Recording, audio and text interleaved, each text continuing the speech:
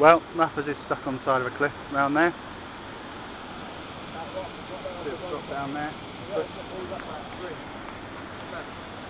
Bit brighter in some of the lads. It's all very good. Making their way up the hill. Very good.